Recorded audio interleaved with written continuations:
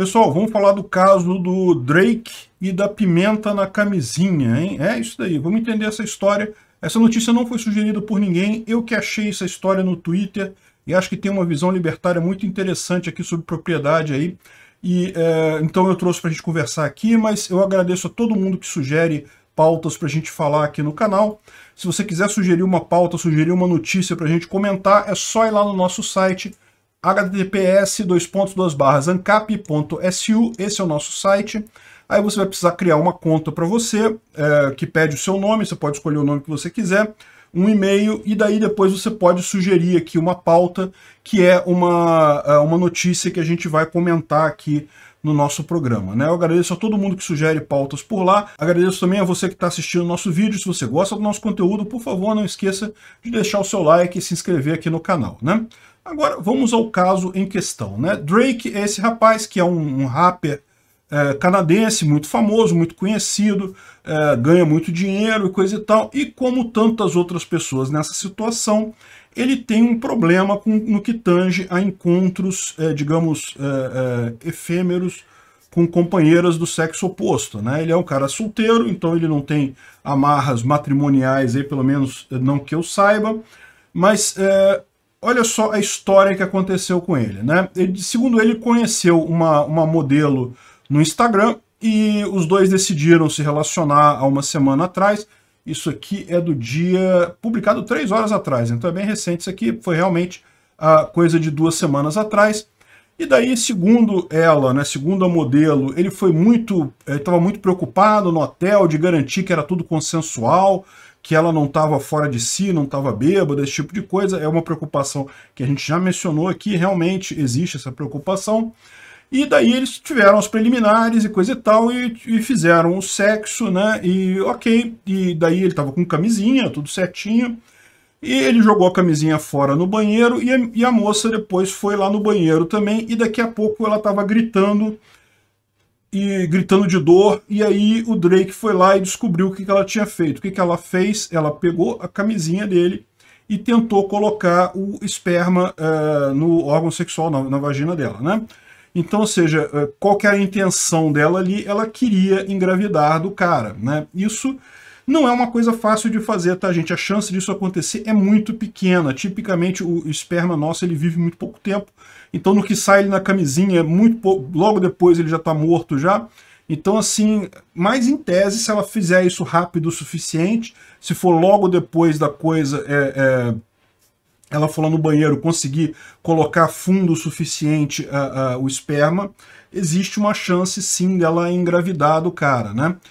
A questão toda é, ele tinha colocado pimenta no esperma. Ele jogou um condimento de pimenta no esperma, segundo ele próprio, para matar o esperma. Eu não sou especialista nisso, eu não sei se pimenta de fato é um anticoncepcional válido, se efetivamente mata espermatozoide. Eu fico perguntando, ele, ele, deve ter botado a pimenta depois, eu imagino, porque se ele botar antes, caramba, a, a cabeça do pau dele vai ficar meio complicada a história ali, né? Vai, vai ficar toda é, ardida, né? Mas enfim, não sei, sinceramente, essa história é tudo novidade para mim, tá, gente? Eu não sabia de nada disso.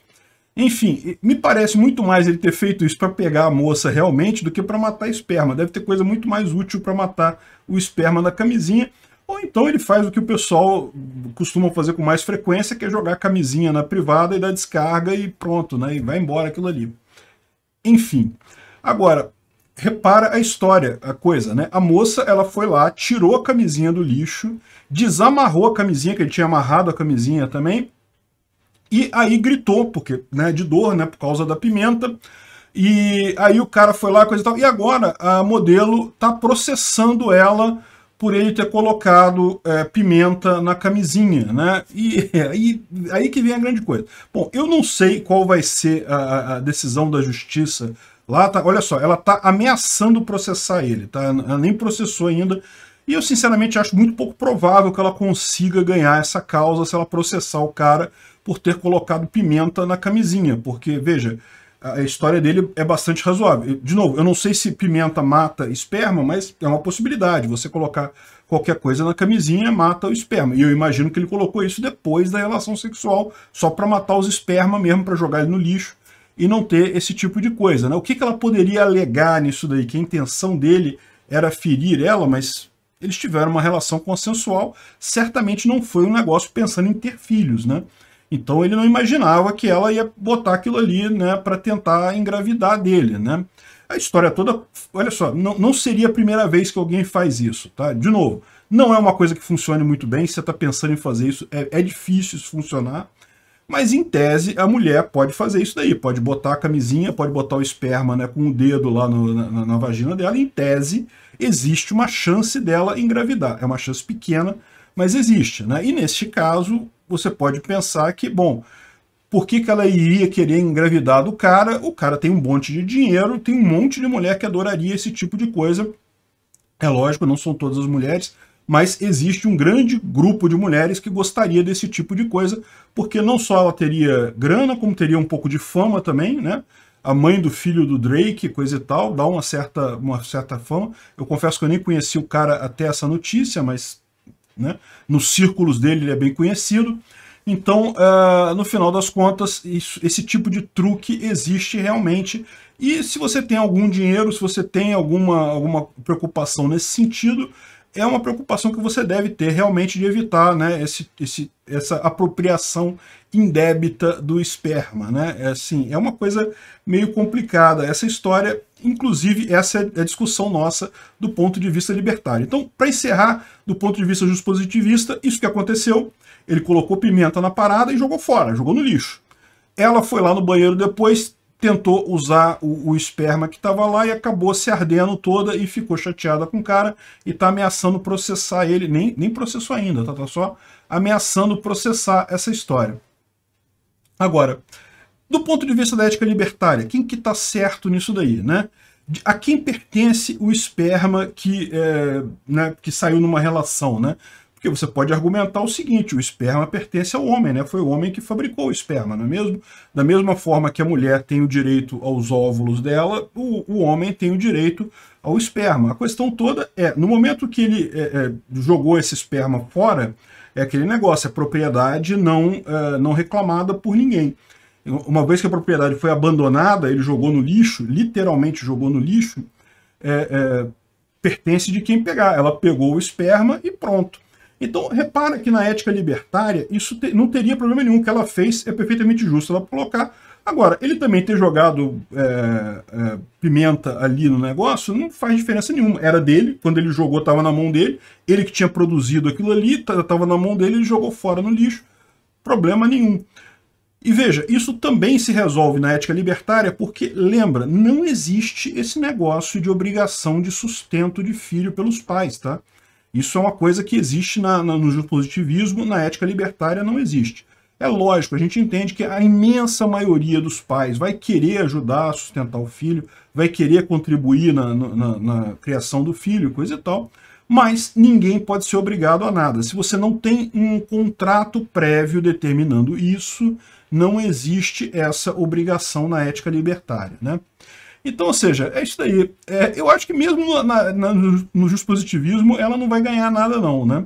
E na, na, ética libertária também não ganharia nada, não poderia ganhar o filho dele, mas ganhar algum dinheiro com isso não necessariamente, né?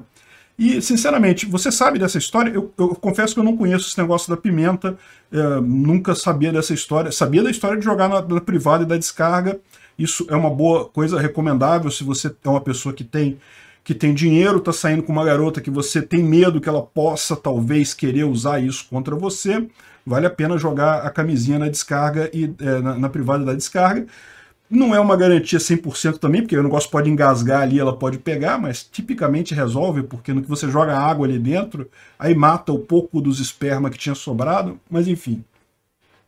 Você que entende disso daí, de biologia, coisa e tal, é, pimenta mata o esperma mesmo? É uma boa dica isso daí? Ou ele fez mesmo para sacanear a menina, botar pimenta ali, para se ela fizesse isso, arder? Diz aí no comentário, por favor. Caramba, eu descobri quem é o Drake, eu conhecia ele, lógico, do meme. Agora eu sei, é o cara do meme. Viu aí? Um cara conhecido. Caramba, já pensou se é a mãe do cara, do filho do cara do meme, o seu filho fazendo assim também, assim? Caramba, hein? Obrigado por assistir o vídeo até o final. Além de curtir, compartilhar e se inscrever no canal, considere se tornar patrocinador com valores a partir de R$ 1,99 clique no botão Seja Membro abaixo para saber as condições e vantagens de patrocinar o canal. Mais informações sobre o nosso projeto, visite nossos sites indicados na tela.